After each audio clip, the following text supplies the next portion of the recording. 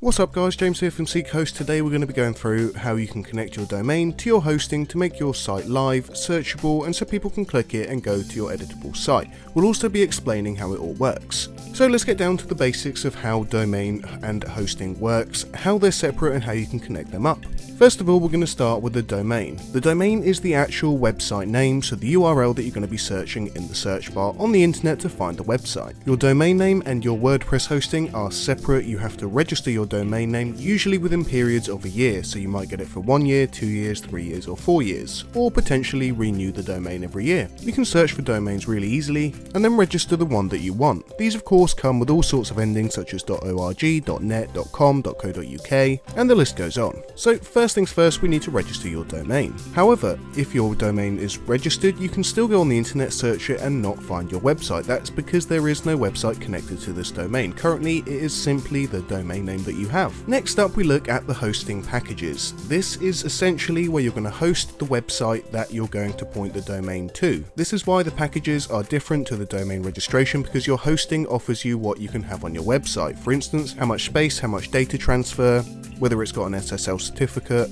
DDoS protection, backups, and all the good stuff that you're going to need for your site. Once you have your website hosted on WordPress and you actually have a website, you can then connect the domain with the website. This now means that when somebody searches for your website using the URL, a search engine, or typing the URL into the search bar on top of their internet browser, it will then search through and find the relative WordPress hosting site which is connected to this domain. So how do we make this connection? This is the next part of the video and we'll explain how you can now connect connect the two together. This is going to be done by a means of name server 1 and name server 2. Each WordPress hosting package will provide you with the two name servers, so when you start your package you're going to be given two name servers from your WordPress hosting. Now if the name servers on your WordPress hosting don't match up to the name servers of your domain, you're not going to get a connection because it can't find where to link to. If the name servers do match from your hosting and your domain once you input them, the connection can now be made so when somebody searches for your URL or domain, they will then get taken to your WordPress site with the matching name servers. I hope that makes sense, so now let's go into actually doing it using SeekaHost. So if you are using separate hosting, just to explain this again, if you're not using SeekaHost, it's fairly easy. You have your WordPress sites on one tab and you have your domains on another tab. If you're using a different hosting or a different registrar for your domain,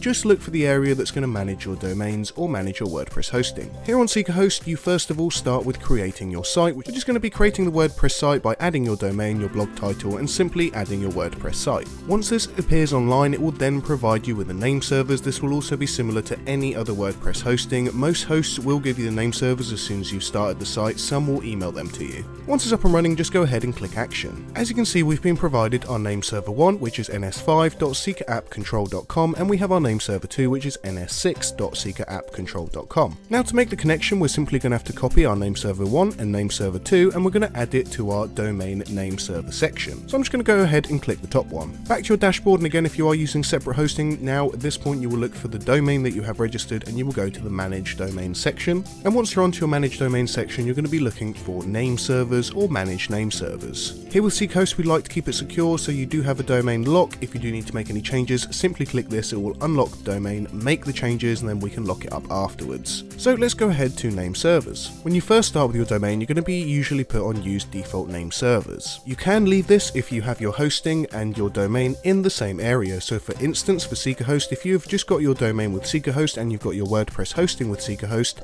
that's it. You don't need to change anything. You can just leave it as default name servers as these will already be in there for you. You can also use custom private name servers or you can do this if the connection is from another domain. So let's say for instance you have a domain with Dynadot, however you're hosting it with SeekaHost. You would then choose use custom private name servers. In the top section you will put your name server 1 and in the second section for your name server 2 you will put the name server 2 that was provided in your hosting. So as you can see here I have ns5.seekerappcontrol.com and for my name server 2 I have ns6.seekerappcontrol.com. These have been input into my domain so I can go ahead and change my name servers so now they match between the hosting and the domain. Once you've saved that, come back and you can then just lock your domain again, just for safety to make sure nobody else can make any changes. So now we have our WordPress hosting up. This is the thing that will give us the ability to actually edit our website. And our domain now has matching name servers to the WordPress site, meaning that we've now completed the link between domain and WordPress hosting.